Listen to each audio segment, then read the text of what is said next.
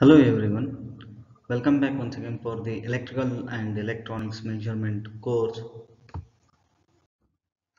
As we started with module 1, and so in previous sessions we uh, studied about the measurement of resistance.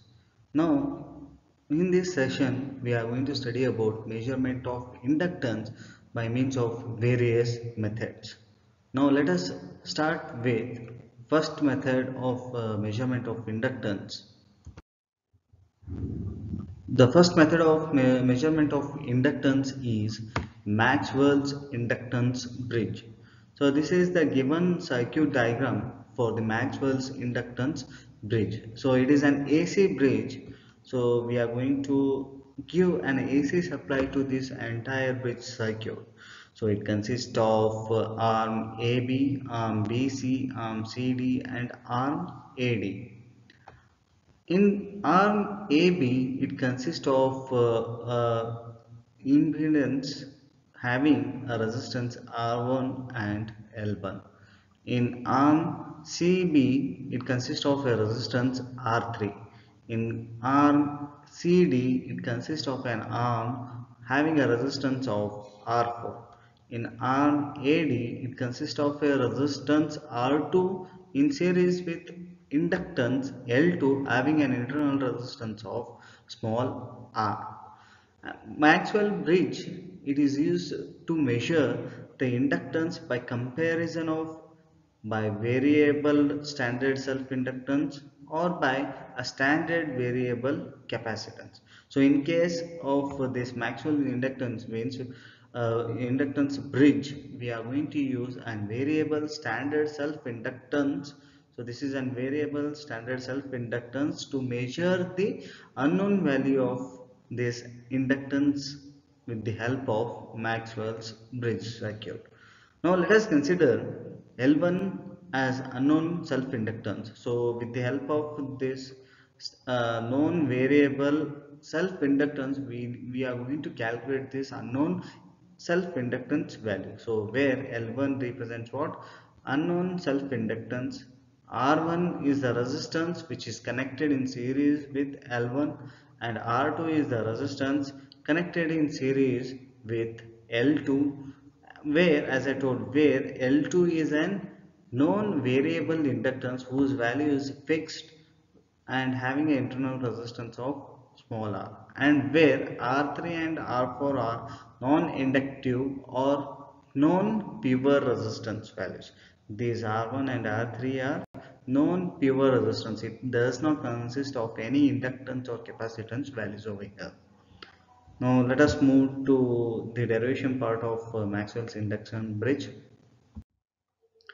As we know, uh, when whenever the current does not flow through the detector, so it means what? A given circuit is in balance condition. So when you are going to tell a given circuit is in balance condition if zero current flows through this particular detector.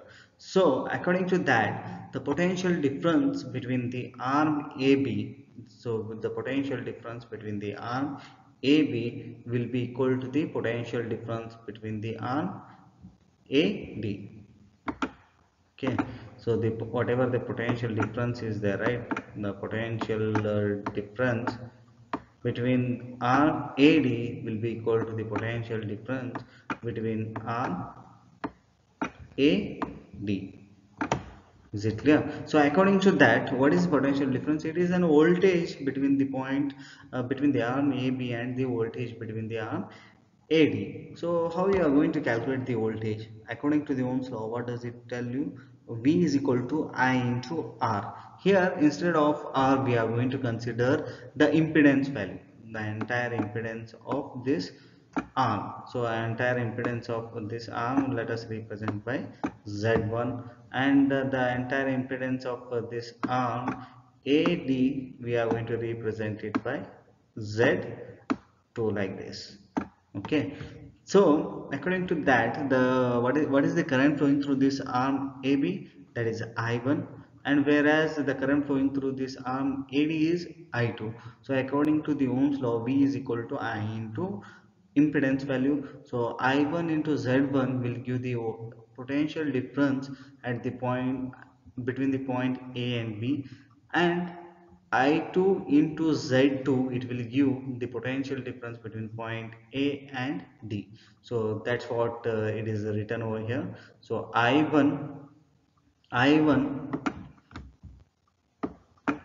into Z1 which is equal to I2 into Z2 where Z1 represents what? It is equal to what? R1 plus this in, uh, sorry in, inductance value. So the, how you are going to represent inductance value? By this value. Uh, what is the value is given over here? So R1 plus j omega L1 it is the value of Z1 okay. Now similarly Z2 will be equal to what? R2 plus internal resistance of this uh, L2 so R2 plus small r plus the impedance sorry inductance value of inductance value of uh, this L2 that is represented by j omega L2 now let us consider this as equation 1 now similarly let us find the potential difference uh, between point B and C and C and D okay so which means what is the current flowing through this arm AD now the current flowing through this arm AD will be equal to I3 into R3 and similarly the current flowing through this arm CD is equal to what? I4 into R4 so similarly we are going to represent over here I, I3 into Z3 I4 into Z4 where the impedance value of the arm B and C is equal to what? R3 so it does not consist of any inductance over here. So it only consists of pure resistance. So its value is R3 so simply substitute over here. So I3 into R3 will be equal to what? I4 into R4 okay. So under balance condition what will happen so during balance condition as we know whatever the current flowing through the arm AB will be equal to the current flowing through the arm BC. Similarly the current flowing through the arm AD will be equal to the current flowing through the arm CD which means I1 will be equal to I3 and I2 will be equal to I4. So similarly we can write like this. So i1 into i3 will be equal to what? I2 into i4 so this above equation can be written like this. So instead of i3 i'm going to substitute i1 over here. Instead of i4 i'm going to substitute i2 over here. So this is uh, let us consider this as equation number 2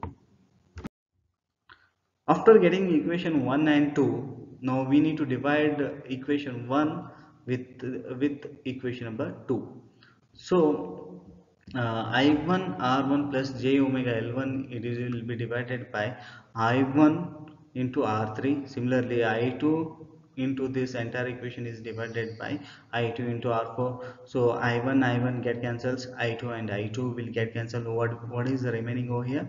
R1 plus j omega L1 divided by R3 which is equal to R2 plus small r that is the uh, internal resistance of uh, this this inductance okay? So plus j omega l2 divided by r4 now cross multiply these terms. Uh, so i1 plus j omega l1 will be multiplied with r4 so r1 into r4 plus j omega l1 into r4 which is equal to r2 plus r3 which is multiplied with r3 plus j omega l2 will be multiplied with r3 now equating image uh, real and imaginary parts of this entire equation. So how you are going to identify which uh, term is called as real term and which term is called as imaginary term. So if the term consists of j term over here so such kind of terms are called as real sorry imaginary terms. So this entire terms are there right which consist of j over here. So these terms are called as what? Imaginary part of this equation. And if uh, the term does not consist of any complex notation that is a j over here so such kind of terms are called as real part of the equation. Now to equate these real and imaginary parts separately now so first we'll equate what? Real terms. So here the real terms are R1 plus R4 which will be equal to what? R2 plus small r into R3 so this entire term is nothing but real part of this equation. Now similarly the imaginary part of the equations are what? Uh, uh, if you want to equate the imaginary part so so that time so these two are the imaginary part so according to that j omega j omega will get cancelled so can i write directly over here so l1 into r4 which is equal to L2 into R3 which is written over here. So what is our ultimate aim? So to find out this unknown value of inductance L1 and this R1's uh, resistance R1 value. So according to that so now simply rearrange the term to get the value of R1 over here. So R1 will be equal to what?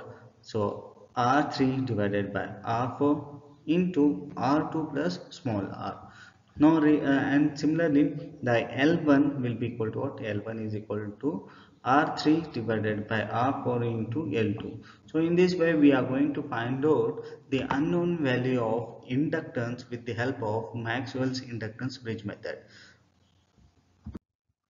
so this is a phasor diagram which we are going to draw with the help of this uh, uh, circuit diagram. Okay. So for that first let us consider the reference vector as the current. Okay. So this is the reference vector which we are going to consider. So under balance condition what will happen to the currents so i1 will be equal to i3 and i2 will be equal to i4 which is represented over here. Okay. Now let us represent the voltage values now. So as we know the uh, the what will happen to the current and voltage relation for inductive circuits which we studied in basic electrical. So it will lead the current by an angle 90 degree. If it is an pure inductance. But in this case this inductance is having some resistance also right? So for that reason it is an impure inductive circuit so which means it will lead the current by certain angle okay? Not exactly equal to 90 degree. And what is the relation between voltage and current for uh, resistive circuit as we studied in uh, first semester yeah they are in phase with each other. So in case of uh, resistive circuits both voltage and currents will be in phase with each other. Now suppose if the given circuit consists of uh, a small capacitance over here. So here let us consider if it consists a small capacitance like this. Okay. So th that time what will be the relation now what will be the relation between the voltage and current for this uh, uh, entire circuit or this arm particularly this arm so whatever the current flowing through this arm it will lead or you can say the voltage or uh, between point CD will lag with the respective voltage. So these three points we need to uh, keep in our mind to draw the phasor diagram. First point is what? If the given arm consists of only resistance, so that time it will be the pure resistive circuit. For pure resistive circuit, the current will be in phase with voltage. Okay? So if the given circuit consists of inductance so that time uh, inductance with the, uh, with some resistance value so it will the voltage will lead with respect to current by a certain angle but it will be not equal to 90 degree because it is an impure inductive circuit that time. So if the circuit consists of uh, capacitance so that time what is what will be the relation between voltage and current? So this time the voltage will lag with respect to current which we uh, studied these relations uh, we studied in basic electrical subject.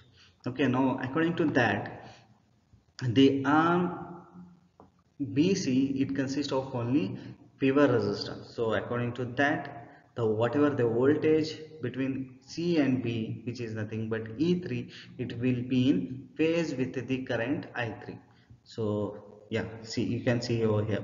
So this voltage E3 it is in phase with current I3 then similarly the uh, arm CD it consists of the voltage E4 which means it, it is having only a resistance. So the voltage E4 will be in phase with I4 uh, I4 is in this direction which means once again E4 will be in phase with I4 now the arm AB is having a voltage of E1 and having a uh, having an current I1 but it is an impure inductive circuit. So according to that it will lead the current. So what is the current? I1 it will lead the current by an angle certain angle. Okay. So let us uh, call this voltage as e1 okay. And similarly e2 e2 consists of uh, an uh, impure inductive circuit. So once again it will lead with respect to the given current that is I3 by an angle certain angle that is uh, it is leading with respect to current. So if if I add if I combine these two vectors so the resultant vector I'm going to get with what? The total applied voltage E. So the total applied voltage E will be equal to what? E2 plus this E2 plus E4 it will be equal to E or E1 plus E3 it will be equal to the total applied voltage. By this resultant vector we can find out the applied voltage. In this way we are going to draw the phasor diagram for Maxwell's inductance bridge. So next topic is Maxwell's inductance and capacitance bridge. In case of previous bridge it only consists of inductance over there but in this bridge we are going to have both inductance and capacitance. With the help of these inductance and capacitance we are going to measure this unknown value of inductance that is L1 and R1 so now let us see how we, we can measure the unknown value of this inductance and uh, unknown value of this inductance and resistance R1 so for that let us consider the various parameters okay so let L1 so L1 be the unknown inductance whose value we needed to measure with the help of uh, these variable capacitance and inductance. Okay so R1 be the resistance connected in series with L1 whose value we need to determine. R2 R3 and R4 R2 R3 and R4 are pure resistance C4 is the variable standard capacitor. So with the help of this variable standard capacitor, we are going to measure the unknown value of inductance. And as we know, mm, uh, let us represent the impedance value of each arm. Okay, so the Z1, it consists of uh, resistance and inductance. So Z1 will be equal to what? R1 plus J omega L1 and R2 uh, the arm AD it only consists of resistance R2 so Z2 will be equal to R2 the arm CB it consists of only resistance R3 uh, so Z3 will be equal to R3 now similarly uh, Z4 what will happen to Z4 let us see. Okay. So this is Z4 right? Uh, the uh, resistance and capacitance between point C and D is nothing but Z4. So Z4 will be equal to what as they are connected in which fashion parallel right. So now let us apply the parallel rule to this combination. So R4 into this capacitance value. So capacitance how you are going to represent 1 divided by that capacitance value J, J divided by omega C4 into R4 divided by whole divided by so according to the parallel rule, uh, what does it state? R1 into R2 divided by R1 plus R2. So here R4 minus J divided by uh, omega C4. So that will give the value of this Z4. Now divide this entire equation throughout the entire equation by R4 into J omega C4 so if you divide it through so we are going to get the ultimate value of z4 as r4 divided by 1 plus j omega c4 r4 so this is the value of uh, z4 we are going to get. Okay so during balance condition as we know whatever the impedance the impedance z1 into z4 will be equal to what? z2 into z. This is z3 impedance right? So this is when the given circuit is said to be in balanced condition.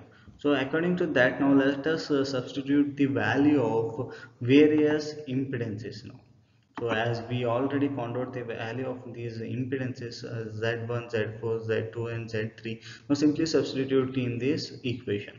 So where z1 is equal to what? R1 plus j omega l1 and z4 uh, just now we found out right? So it will be equal to what? R4 divided by 1 plus j omega c4 into r4 in which is equal to and z2 is equal to what? R2 z3 is equal to r3 so now let us cross multiply this entire equation okay. So r4 into r1 so r1 into r4 plus j omega l1 into r4 which is equal to now this entire equation it will be multiplied with r2 into r3 so r1 r1 uh, sorry r2 into r3 plus j omega c4 r4 into r2 r3 okay now just uh, like uh, before so here we need to equate the real terms and imaginary terms. So whatever the terms which consist of uh, j complex over here so those terms are nothing but your imaginary terms. Now first we'll equate the real terms. So real terms are r1 into r4 which will be equal to r2 into r3 which is equated over here. So if we simplify it further we are going to get r1 is equal to r2 into r3 divided by r4 similarly uh, let us uh, equate the imaginary terms. So uh, these two terms are the imaginary terms of the uh, given equation obtained equation. So if we equate them so this j omega and j omega will get cancelled and and r4 this r4 and r4 will get cancelled so what will remain? So l1 will be equal to what no? R uh, sorry c4 into r2 into r3 so this is what we are going to get the value of this unknown inductance. So with the help of this variable capacitor uh, c4 we are going to get the value of this unknown inductance value and as well as uh, unknown resistance R1's value also. So uh, this is Maxwell's inductance capacitance bridge